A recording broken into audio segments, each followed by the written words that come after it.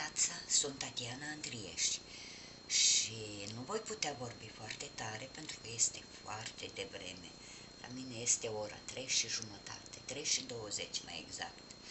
Astăzi dimineață vom uh, lucra din nou pentru doamnele începătoare, cele care doresc să aibă modele noi cu care să împodobească brăduțul. Uh, m-am gândit la aceste ornamente. Eu le-am lucrat cu firul uh, Lisa Lurex pentru că acest uh, fir nu trebuie apretat și în afară de aceasta este foarte, foarte ușor de lucrat, mai ales având și firul uh, de la me, dau un efect foarte frumos.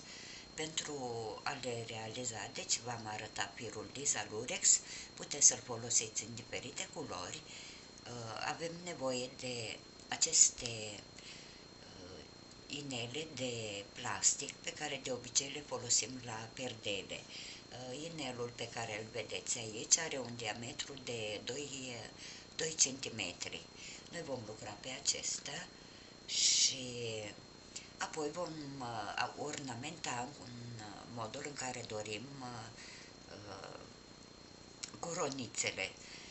Voi începe să lucrez, voi folosi croșetul numărul 3, apoi vom avea nevoie de farfece pentru a ornamenta vom avea nevoie de mărgeluțe, fie de acest tip de steluțe pe care le-am găsit în, în magazin și apoi vom avea nevoie de lipiciul uh, lichid sau la cald, lipiciul de care dispuneți dumneavoastră. Fiind prezentate materialele, eu propun să începem să lucrăm. Voi face uh, doar unul, o singură culoare cu alb. Uh, modelul este același pentru, pentru toate coronițele. Voi face unul de lanț de început, prind uh, inelul uh, de plastic și voi face pe acesta, ați văzut cum am prins firul, voi face un picioruș scurt. Acest capăt uh, de fir îl voi ține aici pentru că îl voi prinde pe măsură ce, ce voi lucra. Și pe uh, cercul de plastic vom face un număr de 15 piciorușe scurte.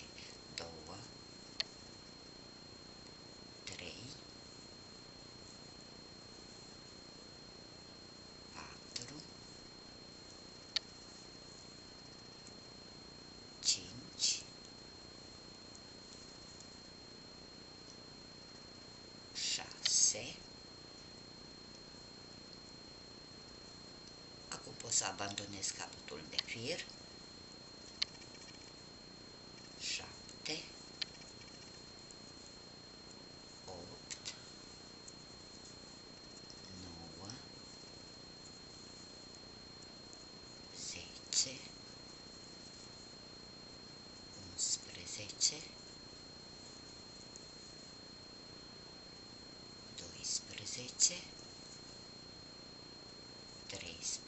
13, 14, 15, iar acum vom închide în uh, primul picioruș uh, scurt pe care l-am lucrat cu fir alunecat, în felul acesta.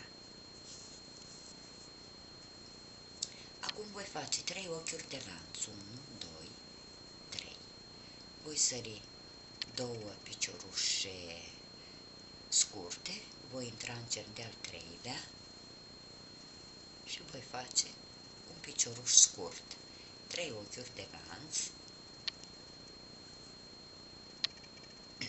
voi sări două piciorușe, voi intra cel de-al treilea și voi face un picioruș scurt.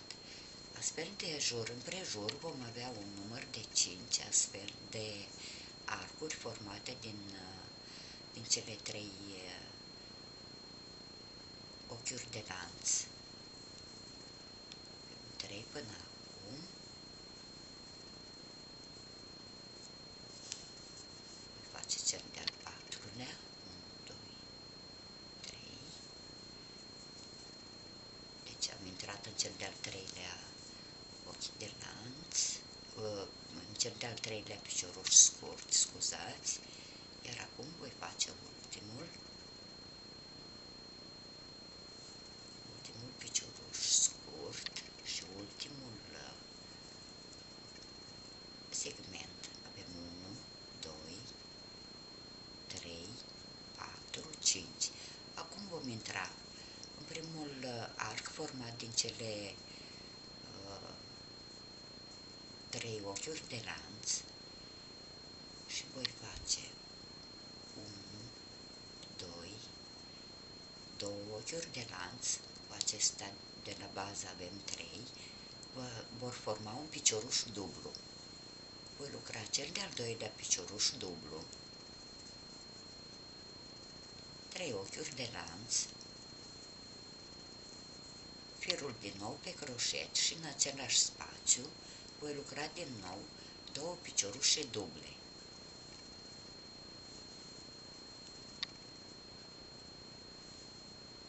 Acum voi face din nou trei ochiuri de lanț, voi lua firul pe croșet, voi intra în următorul arc și voi lucra din nou două piciorușe duble.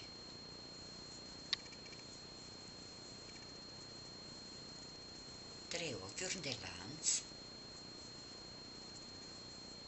și alte două piciorușe duble în interiorul aceluiași arc.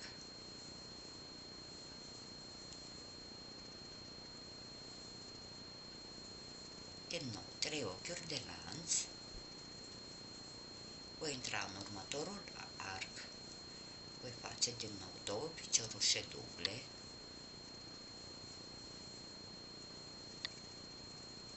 le voi împinge un pic în felul acesta, să fie toate vecine, trei ochiuri de lanț și alte două piciorușe duble în interiorul acelui arc, trei ochiuri de lanț, voi lua firul pe croșet, voi intra în următorul spațiu format din cele trei ochiuri de lanț de la bază, două piciorușe duble. Este foarte simplu. Acesta este un, un uh, tutorial pentru doamnele începătoare. Uh, acum uh, încerc să vin cu modele ușoare și modele noi, pentru că toate canalele de YouTube sunt pline cu tot tipul de steluțe, de decorațiuni pentru iarnă și trebuie să aleg cu grijă ceea ce, ce lucrez. Deci ați văzut, fiecare dintre cele cinci ochiuri de lanț, uh, în interiorul lor lucrăm două piciorușe duble, trei ochiuri de lanț, două piciorușe duble, apoi facem trei ochiuri de lanț și intrăm în următorul arc și repetăm două piciorușe duble, trei ochiuri de lanț, două piciorușe duble, în felul acesta. Acest capăt de fir, după aceea îl vom tăia. Am uh, făcut ultimele trei ochiuri de lanț și voi intra aici, în spațiu unde am uh, închis uh, cele două piciorușe duble din primul arc și foarte simplu în spațiul format din cele trei ochiuri de lanț voi lucra un picioruș scurt, voi lua firul odată pe croșet, voi lucra o jumătate de picioruș dublu, firul pe croșet, cea de-a doua jumătate de picioruș dublu, firul pe croșet, cea de-a treia jumătate de picioruș dublu și un picioruș scurt. După care mă voi deplasa în următorul spațiu și voi repeta un picioruș scurt, o jumătate de picioruș dublu, cea de-a doua jumătate de picioruș dublu, cea de-a treia jumătate de picioruș dublu, un picioruș scurt. Voi repeta în felul acesta pe întreg parcursul uh, rândului. După cum vedeți, modelul este foarte, foarte ușor. În cazul în care nu dispuneți de aceste arcuri, de aceste cercuri de plastic, scuzați, uh, puteți face din uh, fir uh, de sârmă, cel un pic mai grosuț, puteți crea singure acele cercuri și să lucrați pe ele. Acesta este o metodă alternativă.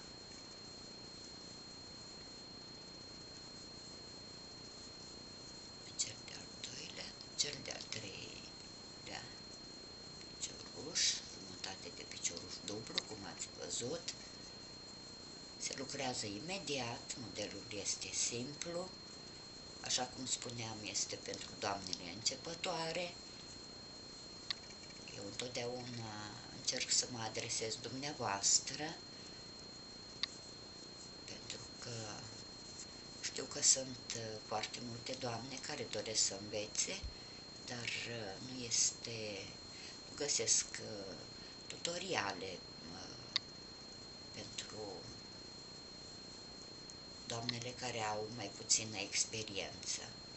De aceea mă adresez dumneavoastră cu mare plăcere și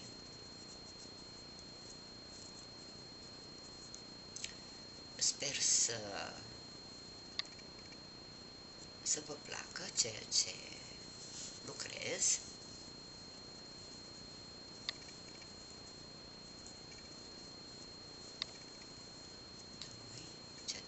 jumătate de picioruș dublu, un picioruș scurt, acum voi intra în ultimul spațiu, picioruș scurt, o jumătate de picioruș dublu, cea de-a doua jumătate de picioruș dublu, cea de-a treia jumătate de picioruș dublu, un picioruș scurt și aici între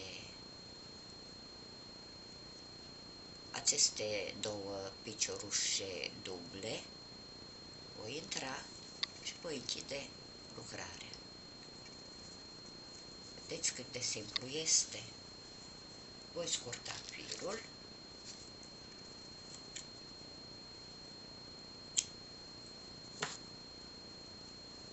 Voi închide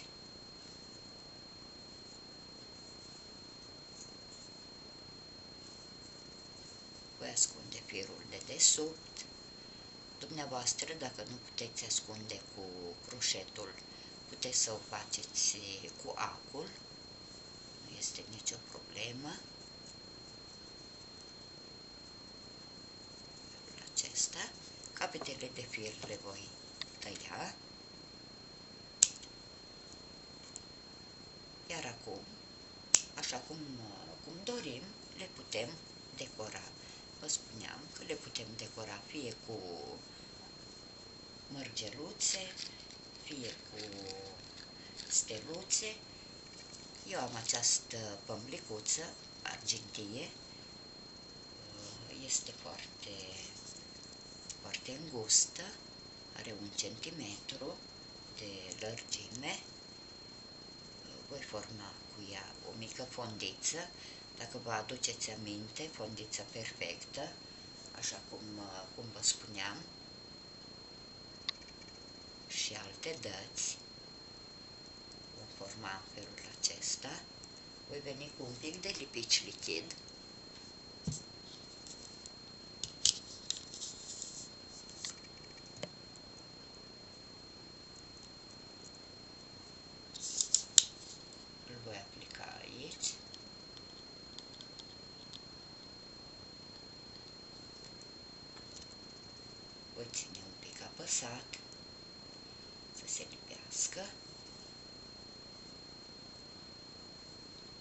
care pe partea din spate voi adăuga din nou un pic de lipici.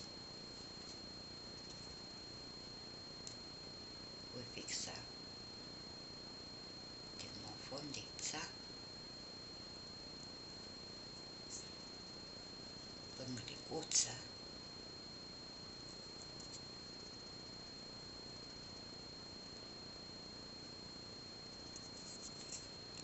și voi scurta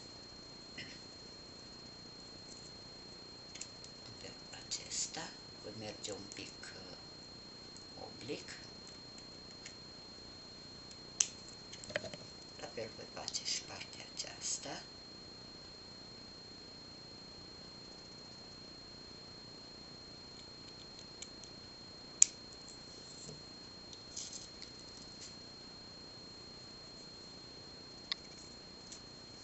Voi pune ornamentul pe această coroniță roșie. Voi pune într-un loc oarecare, place.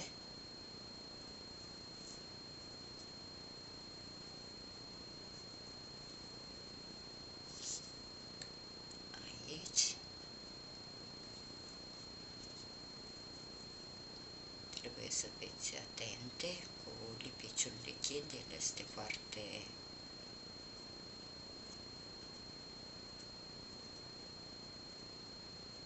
foarte lipicios. De aceea este numit și lipici. Este foarte lipicios. Și aici, așa cum vă spuneam, fie putem pune această steluță, dar aceasta merge mai mult la ornamentele albe, fie vom aplica o steluță, o mărgeluță albă, mărgeluță cu diametru de 1 cm,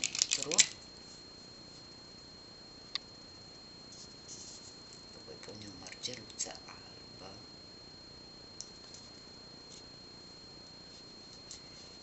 care să scoată un pic în, în evidență culoarea principală.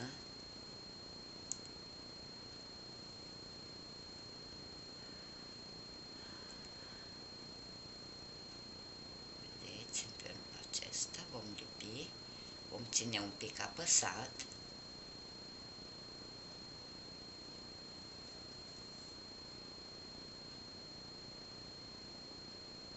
modul de a se lipi bine și iată că am realizat un, un mic ornament. Acum, cu firul de plastic, firul de plastic, firul transparent, veți putea intra de aici și să creați